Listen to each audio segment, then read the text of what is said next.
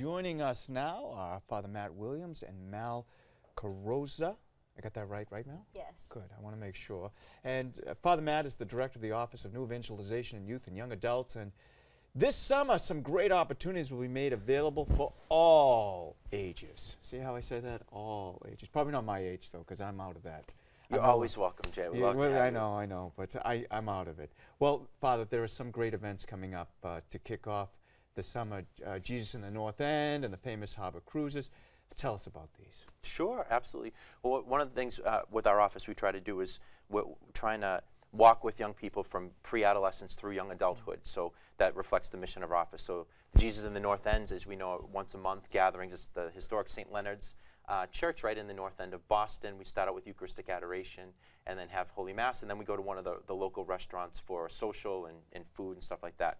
Um, the harbor cruises, we have a middle school harbor cruise and a high school harbor cruise. They've been going on probably since probably since you were in high school, I would imagine, Father Reed, right? I believe so. Yeah, great experiences. Um, you know, a couple hours on the harbor with the DJ, and we have some things this year that we're going to mix it up a little bit and uh, just have an opportunity to be able to uh, present the faith a little bit. So that way, it has a little catechetical or evangelization thread in the midst of all the great fun and, and social activities going on.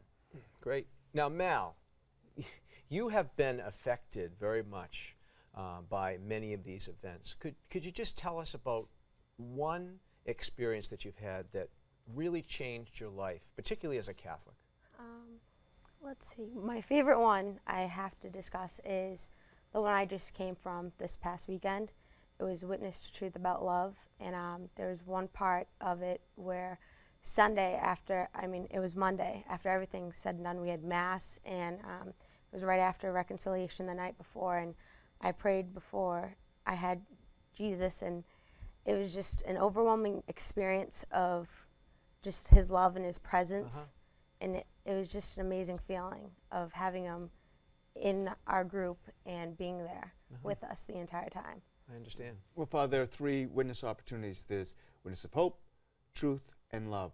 What are these witness experiences? What are these retreats? Uh, what are they all about? It is not the witness protection program, Jay. It- oh, that's well, a very point. No, but we're called, uh, you know, as St. Francis says, preach the gospel at all times, and if you have to, use words, right? And so being a witness is helping to equip young people with the, the knowledge about our faith and the skills to be able to live it in the everyday virtuously and in service to the poor, service to each other, and helping to be able to articulate our faith and share it with other people. So um, Mal was talking about Witness the Truth About Love, which is basically our theology of body uh, retreat that we offer um, as part of this. So basically, it begins with Witness to, to Hope. And that's the middle school program, and we're really excited about that. That's coming up in, in the beginning part of August.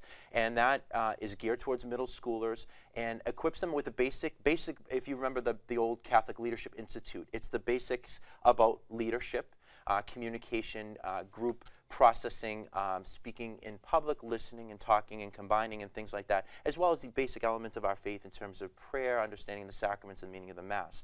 And then all of that is, is, is brought through the lens of the corporal and spiritual works of mercy. And there are lots of fun, um, age, age relevant activities to do that. Then we have Witness to Truth, which is for high school teens, uh, which Mal, Mal is an alum, and that looks at the theological and moral virtues as well as Sean Covey's Seven Habits of Highly Effective Teenagers.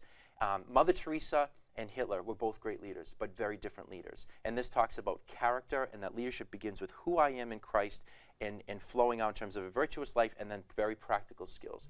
And then Witness to Love, we're excited. This is a pilot program this year. We're going on a mission trip. Uh, we're going to the Dominican Republic, El Factor, which is about a half hour, uh, I think, northwest of Santiago, uh, as, for a mission trip. So now this gives them an opportunity. Now that the kids, teens, have been through Witness the Truth, they, they begin to know who I am and what it means to, to live as a Catholic, and then they've been witnessed through the love. So looking at vocation, life, and love, understanding more, more effectively who they are, and they're called to be a gift to others. Now we're going to go on mission to, in service to encounter the gift of Christ in, in our brothers and sisters in the poor, but also be able to offer a gift as well and help them to understand the church's social teachings. And, and Mal, you know, you're alum, an alum of, of most of these events, but now you're in the position uh, to help be a leader and, and, and to, to help other young people uh, to come to a closer relationship both with Christ and with one another. That must be a very exciting thing for you. It is extremely exciting and overwhelming, but at the same time, I've not been trained, but I have great um, role models to look up to. Like this guy right here? Yes. You, well, you sure about that? Mal will be going with us to the DR. We're Xaverian, we're Xaverian, by the way, There just go. so you know. We're, we're, yeah, we're Xaverian guys. So, do you enjoy it? Do you, do you really do? It's a, it's a great thing. I really do. I was, I, want, I don't want to say brought up, but freshman year of high school started, um, and I've just been going along with all the programs. I mean, literally, I'll get a phone call. Hey, Mel, do you want to come here? Oh, we're going to be doing this. Oh, mark this on your calendar. I'm like, sure, just write me in. I'll go. I'll find a way, and I'll be there. So. And, and I asked Patty this before, Mal. You know, young young people today, um, there's so many different distractions out there. Do you find that they are thirsting for their faith? Definitely. I believe it 100%. I mean, it's people look at me and I go to church and um, you know, there's not a lot of teens and young adults going to church and going to mass. And it's sad, but at the same time, all my friends ask me, you know, why are you so happy all the time? Why are you so joyful? They yearn, they look, they really want it, but they don't know it yet. And so I try to explain it to them best I can, but Mm-hmm. And They have to Father, where, it. where can people learn more? As we obviously we're Yeah, running out of time. absolutely. If they go to our website, oneforboston.org, or check us out on Facebook under the same name, One for Boston, O N E, the number four, Boston. Oneforboston.org. Well, that's an easy one. Well, Father, thanks so much as always for being with us. Thank always you. a Thank you joy when you time. come in. Mal, so great to meet you. And you know what? Thank you, You're me also too. a great example to young people out there. So keep it up. thank you Keep so it- much. Thank you.